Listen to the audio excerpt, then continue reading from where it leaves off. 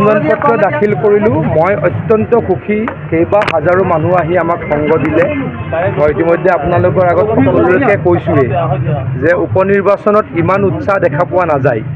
উপ নিৰ্বাচনৰ পৰিৱেশ অলপ ঠাণ্ডা থাকে। কিন্তু আজি ইয়াৰ একেবাৰে বিপৰীত প্ৰতিচ্ছবি এখন দেখা গ'ল। হাজাৰ হাজাৰ মানুহ ওলাই আহিলে নাচি বাগি আহিলে। সাধাৰণতে যেনেকৈ আমি সাধাৰণ নিৰ্বাচনৰ মনোনয়ন দিওঁ তেনেকুৱাই হ'ল। ই প্ৰতিফলন এ, প্ৰতিফলিত কৰে যে দিগন্ত ঘাটোৱাৰ ডাঙৰীয়া যথেষ্ট ভোটৰ ব্যৱধানত জয়লাভ কৰিব। যোৱা কেইবামাহো মই বিহালী সমষ্টিৰ চুকে কোণে ঘূৰিছোঁ।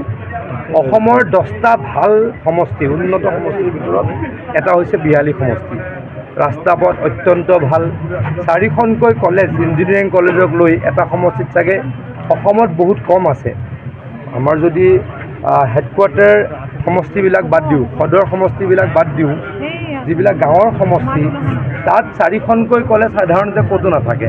গতিকে বিহালীত এইখিনি আছে। মুখ্যমন্ত্ৰী ডাঙৰীয়াই যথেষ্ট বিহালীৰ কাৰণে কৰিছে বুলি ৰঞ্জিত দত্ত ডাঙৰীয়াই অলপ আগতে ভাষণ দিছিল। কিন্তু ৰঞ্জিত দত্ত ডাঙৰীয়াৰ আশুসুদীয়া প্ৰচেষ্টাৰ ফলতেই বিহালীৰ এই উন্নয়ন হৈছে।